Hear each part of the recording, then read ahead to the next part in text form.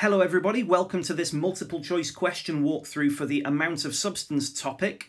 Do feel free to download the questions from the description, have a go at them, and then watch my video and see how you got on.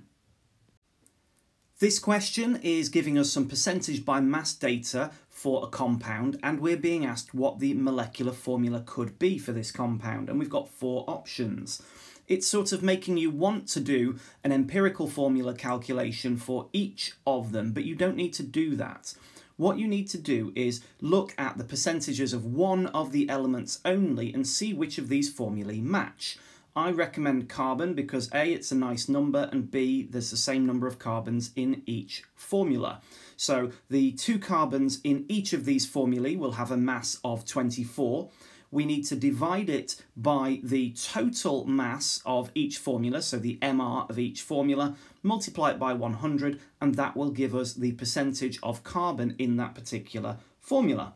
So for A, we do 24 divided by 58 times by 100, and that means we've got 41.3% carbon in A. B is 24 divided by the MR of 42 times 100, which gives us 57.1%. So these two are both wrong. C is 24 divided by 60 times by 100, which is 40% carbon. So C is correct. If you run the same numbers through for D, you get 42.1% carbon. So confirming that C is the correct answer.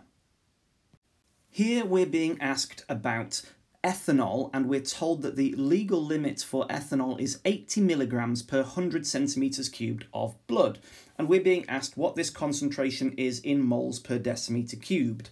So we need to start off with a series of conversions. So we have 80 milligrams in 100 centimetres cubed of blood, and so that means it is 0.08 grams per 100 centimetres cubed of blood and then we need to convert this grams per 100 centimetres cubed into grams per 1000 centimetres cubed, and that is obviously grams per decimetre cubed, and so that's simply multiplying it by 10, so that's 0.8 grams per decimetre cubed, and last of all we're converting grams per decimetre cubed into moles per decimetre cubed by dividing by the MR, which we're given is 46, and that gets us our answer of 1.74 times 10 to the minus 2 for our concentration. This question is asking us about the percentage atom economy for the production of ethanol from glucose as shown in the equation here. Now, atom economy is found by working out what the total mass of the target product is and dividing it by the total mass of the reactants that we're using to get them. So ethanol is our target molecule and its MR is 46. But there are two molecules of ethanol in our products, and so we need to multiply that 46 by 2.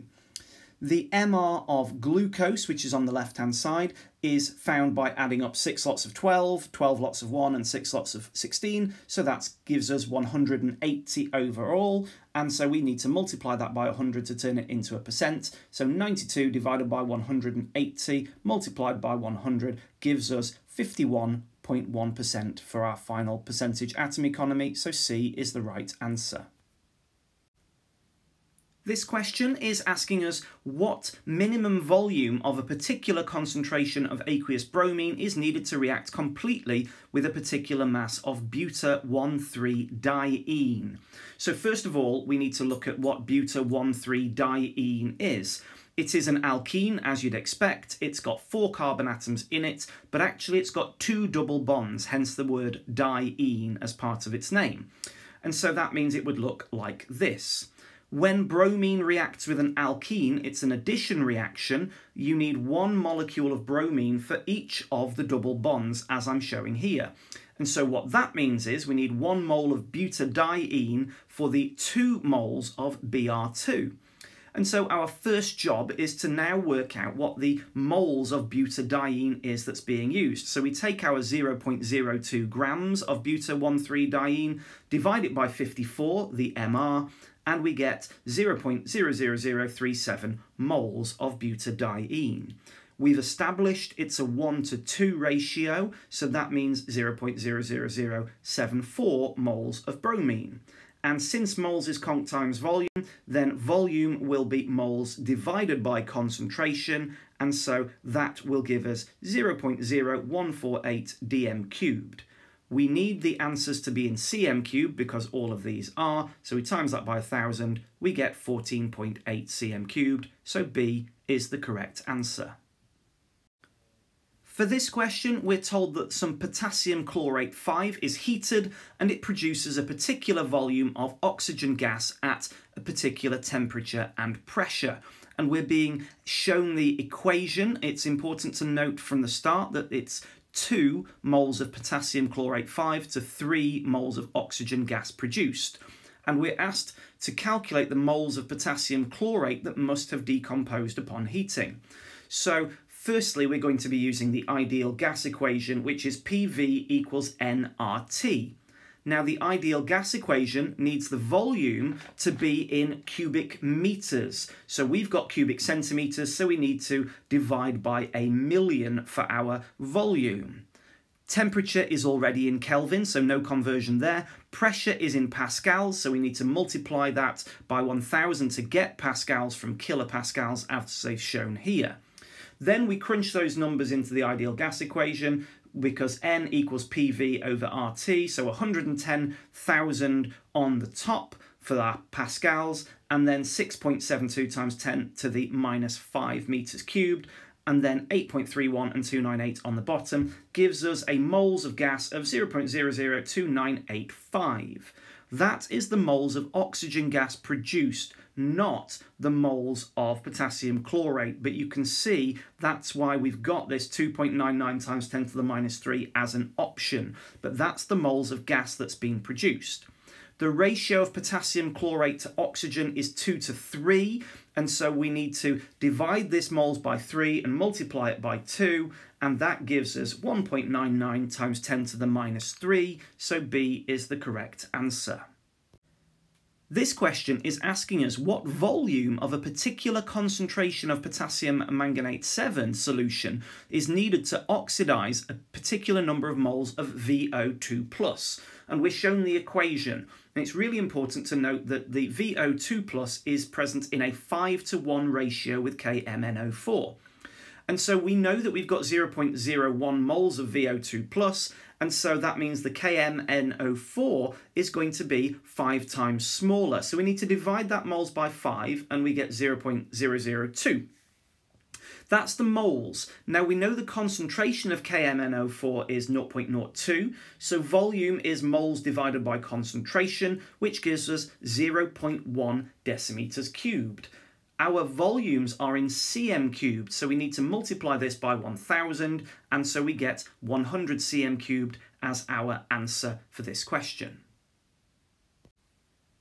Here we're being asked about a method for a titration and we're told that the volume of acid that's been added from the burette is larger than is expected and we're being asked to select from these four what is a possible reason for this.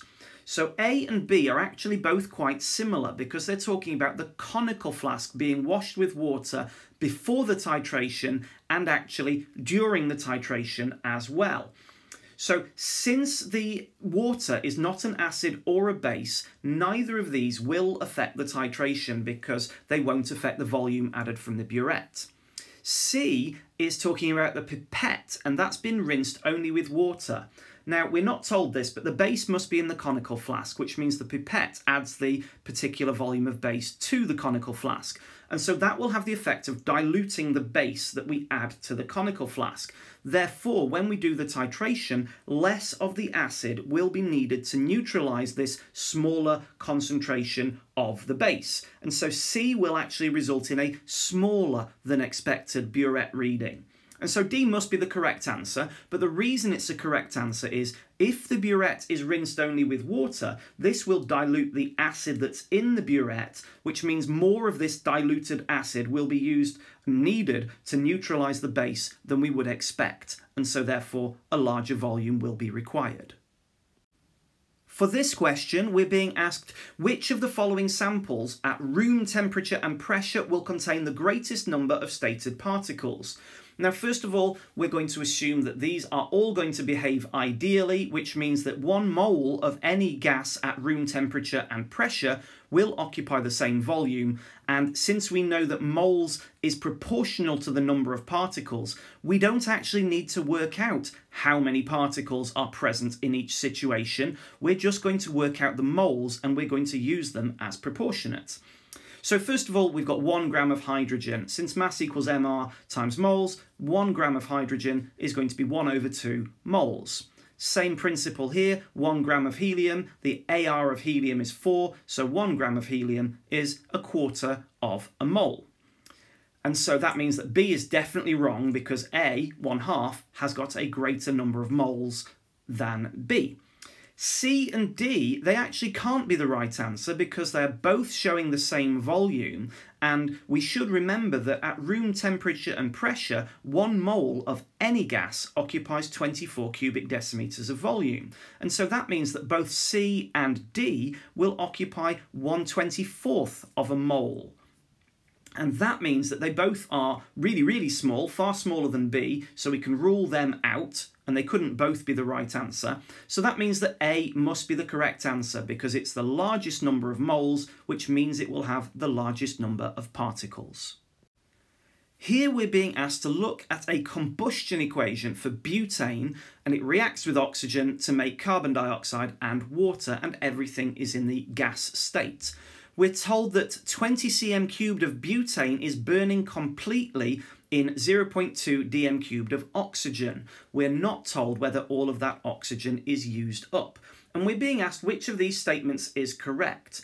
Now, to help us answer this question, it's worth looking at what volumes are going to be involved. Now, you should know that since the ideal gas equation says that one mole of any gas occupies the same volume, we can treat the volume ratio as being equivalent to the mole ratio. So from the equation, butane is 1, oxygen is 6.5, carbon dioxide is 4, and water is 5. So that means if we're using up 20 cm cubed of butane, that means we will be using up 130 cubic centimetres of oxygen. So that means that 70 cm cubed is going to be left over. We'll be making 80 cm cubed of carbon dioxide and 100 cm cubed of water. And that's because the volume ratios need to mirror the mole ratios. So A, when it says 40 cm cubed of carbon dioxide is formed, no, it's 80.